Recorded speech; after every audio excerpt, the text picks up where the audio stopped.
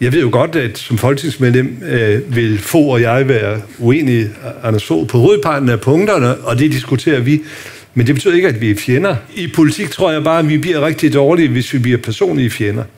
Øh, fordi så bliver det så indet og så hadefuldt, at det slet ikke er til at holde ud og kigge på. Vi skal kunne behandle hinanden ordentligt, og så tage de politiske slagsmål, der skal tages. Faktisk har I været til fest sammen, der Anders Fogh, hvor han tilbyder, at du lige så godt kunne køre med ham hjem. Det er rigtigt, fordi han sagde, at det var formentlig det tætteste, jeg kom nogensinde på en ministerbil.